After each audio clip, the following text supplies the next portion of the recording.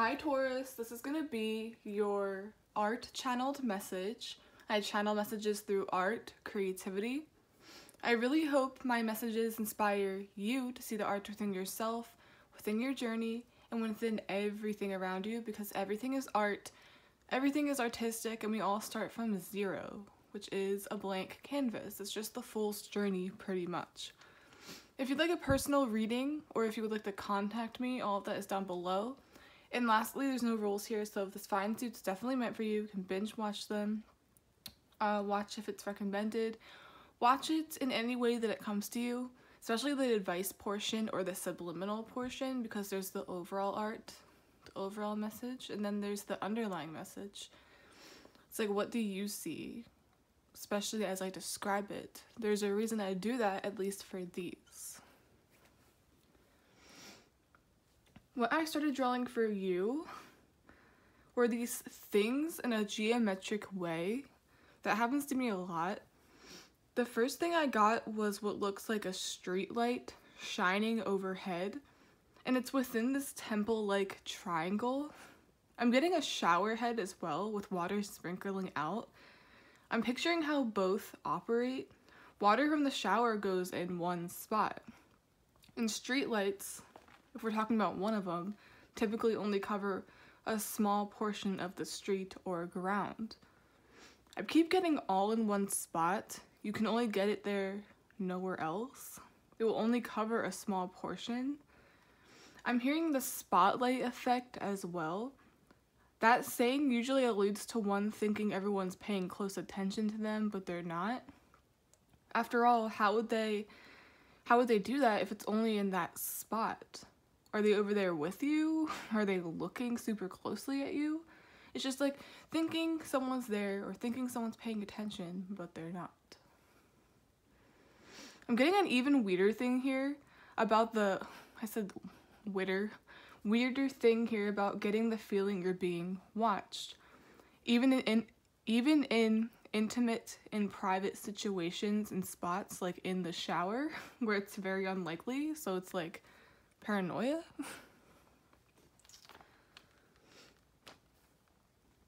Isn't there a phenomenon behind that? You get a feeling of being watched. The feeling of being watched even in closed private spaces. It's very strange.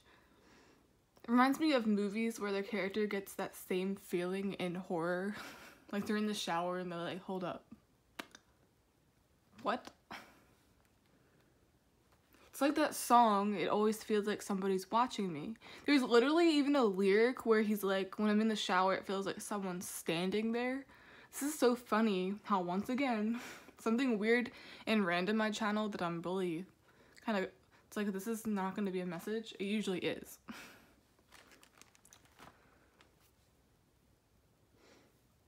I'm also getting what if this feeling is designed to keep you in check? Not an actual person, but more of a force. Spirits, maybe? Like, how can there be no windows, no openings, and people still get those feelings? It's like out of nowhere, something is triggering you, something is rubbing you the wrong way. But what could it possibly be?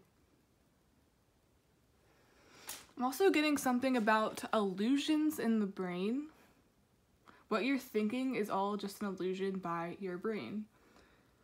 And I kind of wanted to feel drawn to compare it to mental health. How our brains can convince us too of of like to believe horrible things about ourselves. You know, like that voice in your head that tells you you're not good enough, tells you all these different things. It's like, how can you prove that? Just like there's no one there, you get the feeling of being watched or you get the feeling that you're this, you're unworthy. Where does that even come from? How can you prove that?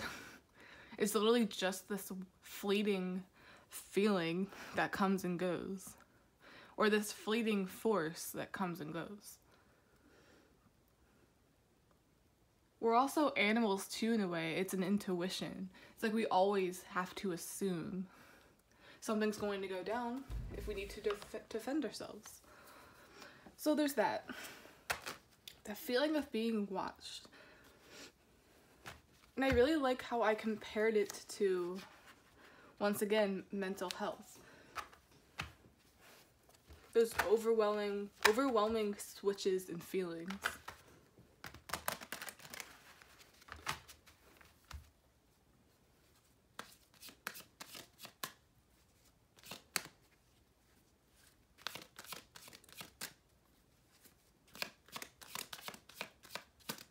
Also feel drawn to say if you feel like someone's paying close attention to you, it's probably not that. But I'm also getting this weird supernatural type thing. It's like there's a reason for this.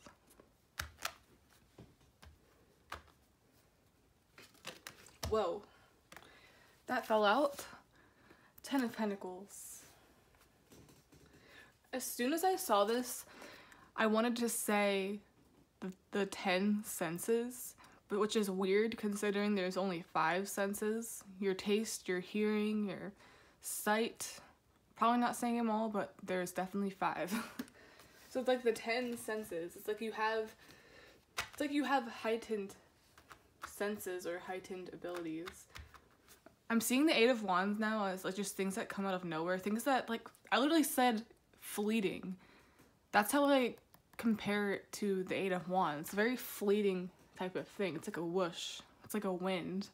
Many people call this communication, but it's so many things if you use your intuition. So that's what I'm getting this fleeting feeling, a heightened sense. It's like you might be experiencing, especially moving forward, just a very heightened intuition, sensitivity. Even your taste will feel like it's at its utmost high. things taste better, can see things better. It's gonna be very, very weird. It's like I wasn't feeling like this before. When I'm in the shower and it's like you get that feeling you're being watched. Why?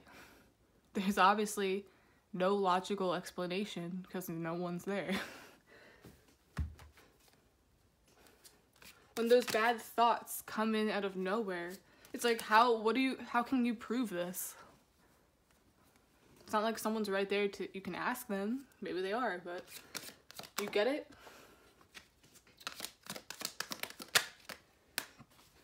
We have temperance.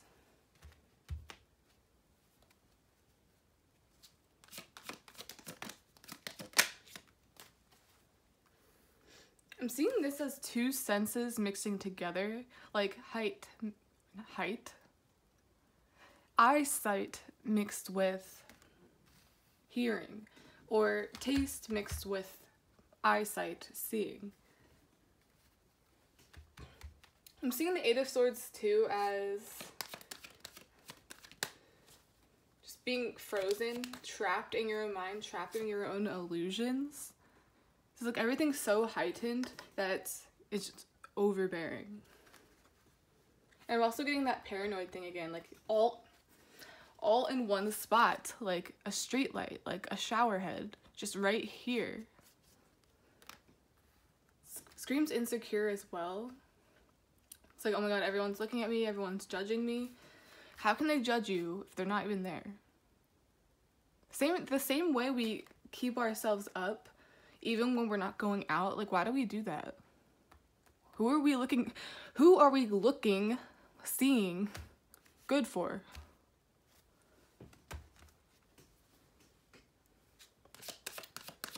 And I don't mean this in a way it's like you're not as important as you think you are in a bad way. It's more like you're there's literally so many people, so many people that are busy with their lives.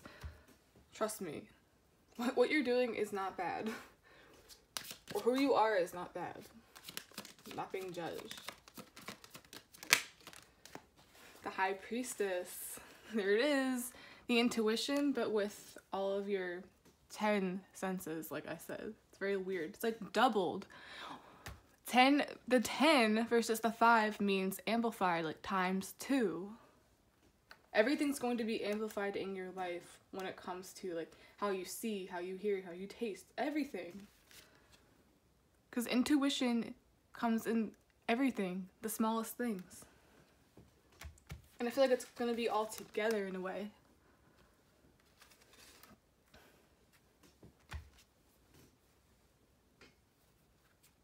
And we have the Eight of Wands again. Why?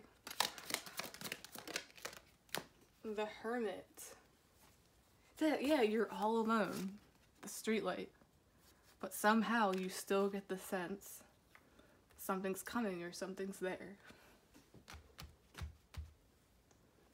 I'm getting this feeling too of just being studied, that spotlight effect. Usually, that's usually something people get where it's like they walk into a public place and oh my god, everyone's staring at me, everyone's judging me.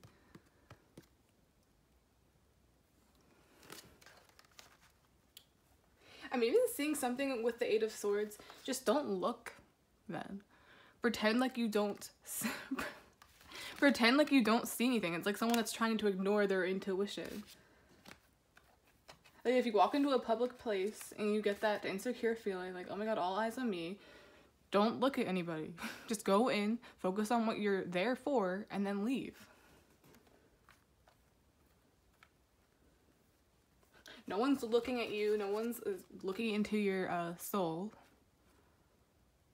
Noticing all your insecurities. It's like we're hyper aware of ourselves more than other people are. This is a very strange thing to bring up in a reading, but I'm literally getting that feeling.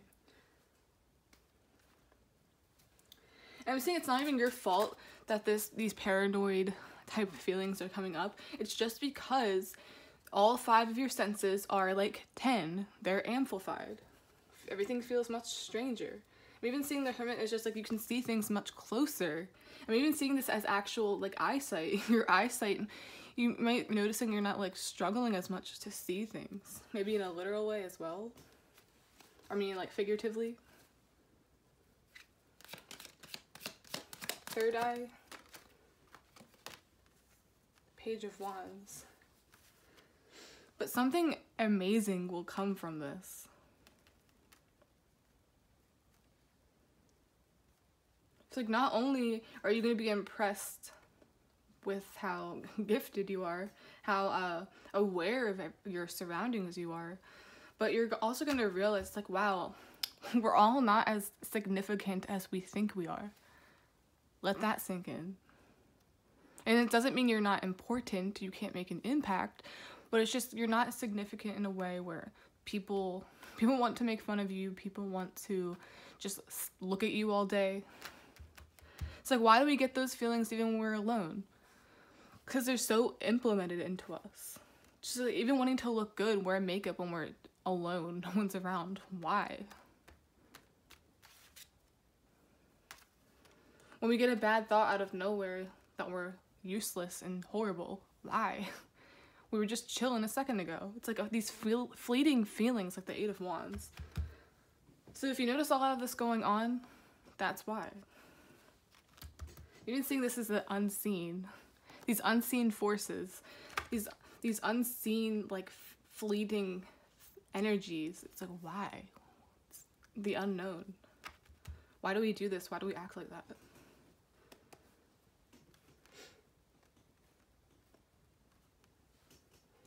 I'm also seeing something about like spirits. I'm seeing this as ghost hunting for some reason, doing things to get a reaction or like to see what happens with the occult.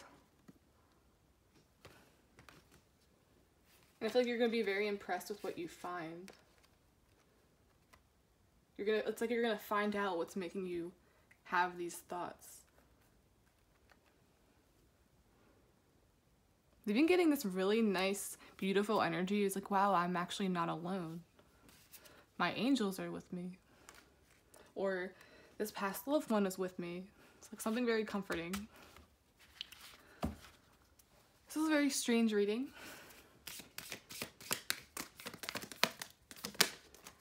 We have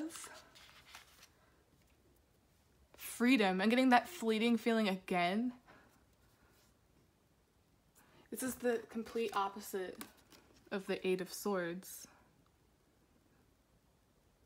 To me, this screams I don't care what people think of me. No longer paranoid, no longer thinking things twice.